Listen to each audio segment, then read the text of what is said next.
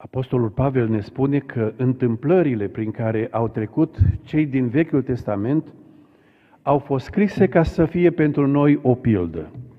Din pildele acelea, scrise pe paginile Scripturii, aș vrea să vă rog să deschideți la Geneza 26 și voi citi versetul 18. Geneza 26 cu 18. Isaac a săpat din nou fântânile de apă pe care le săpaseră robii tatălui său Avram și pe care le asupaseră filistenii după moartea lui Avram. Și le-a pus iarăși aceleași nume pe care le pusese tatăl său. Și apoi 21 a săpat o altă fântână și continuă cu o altă fântână. La trecerea dintre generații s-a întâmplat ceva cu fântânile.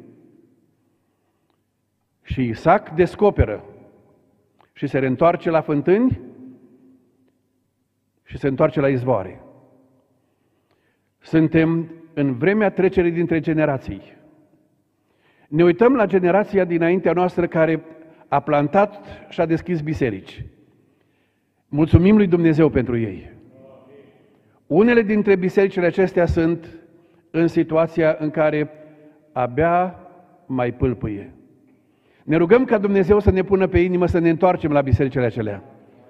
Să nu se înfunde fântânile acelea. Dar nu numai atât.